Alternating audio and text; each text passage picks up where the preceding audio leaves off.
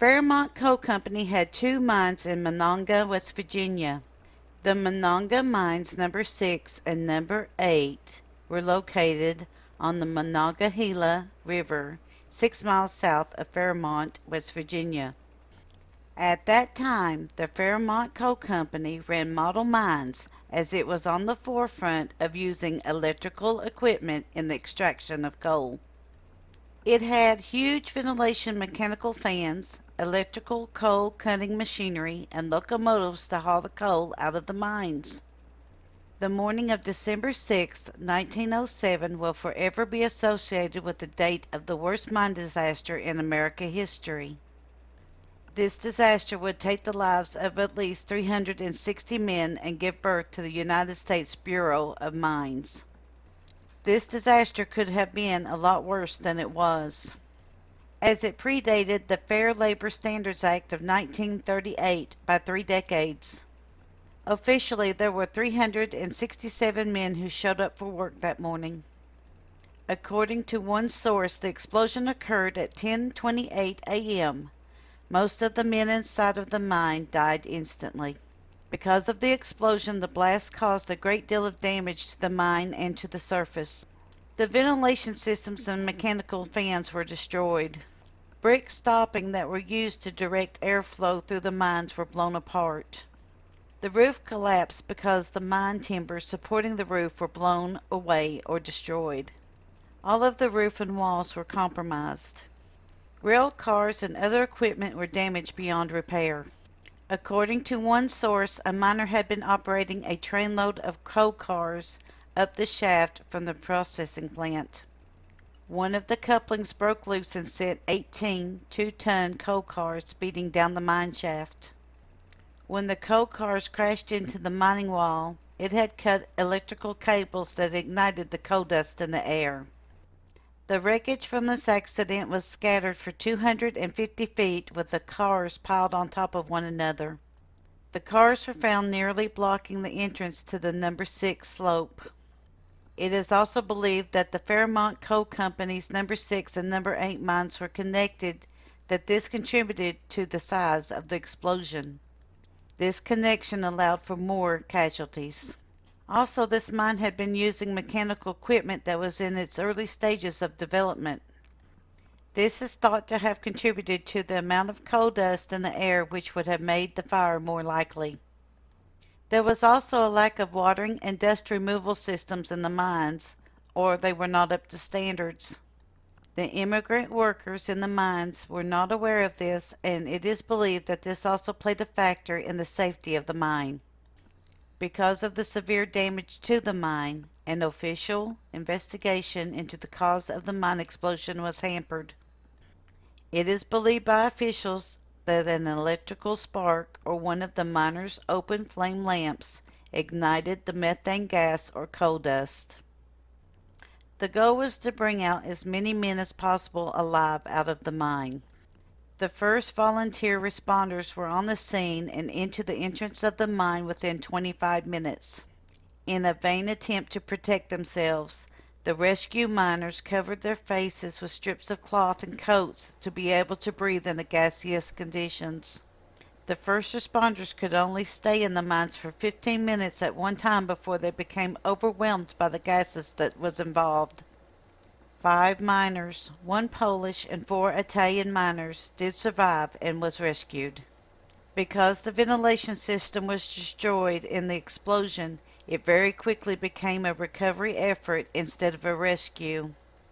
The gases quickly suffocated anyone who survived the initial blast that was trapped in the mine. It took five days to bring out 337 men from the mine. It took a further week to bring out 17 more men, and the last eight were brought out two weeks later. There were several cases of entire families being wiped out from the disaster, leaving only the widows and distraught mothers behind. The official death toll within the mine was 362 miners.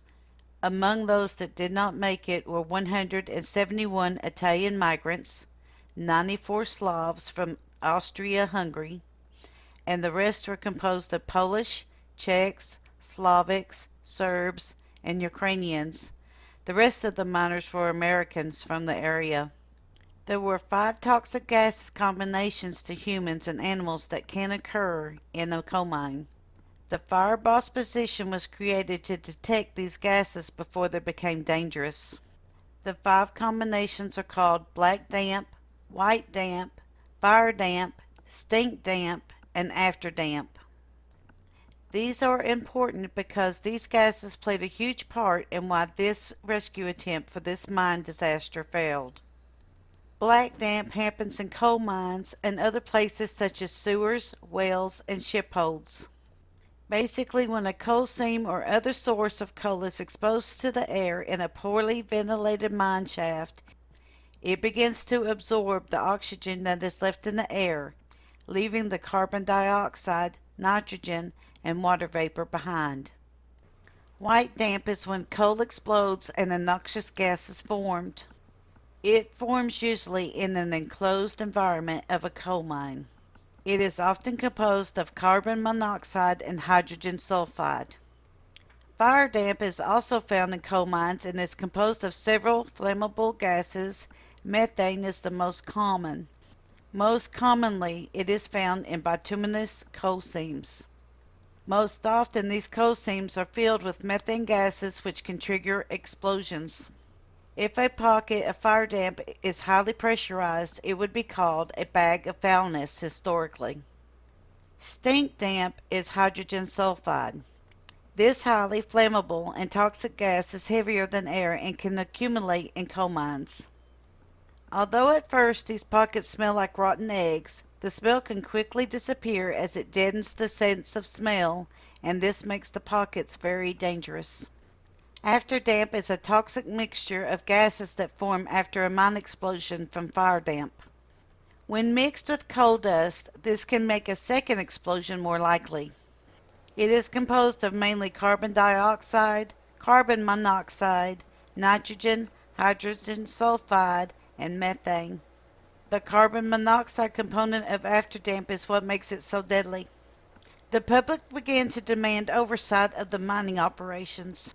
This was due to the explosion at the Monongah mine.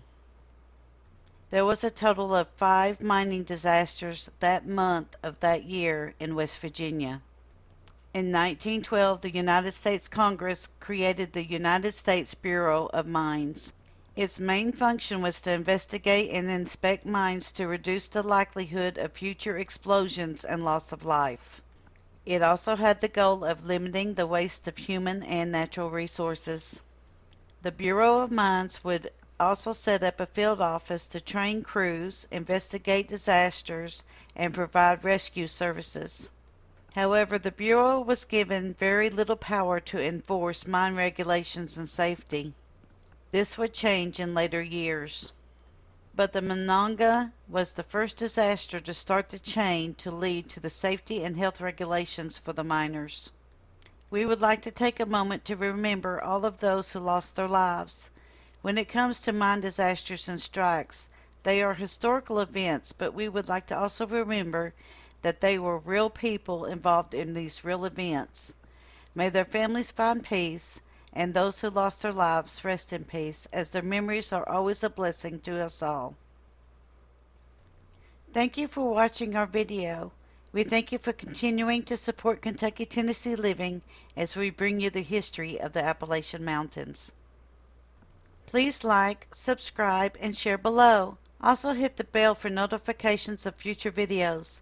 And once again, be sure to leave us a hey y'all in the comment section below. Thank you for continuing to support us and watch our videos.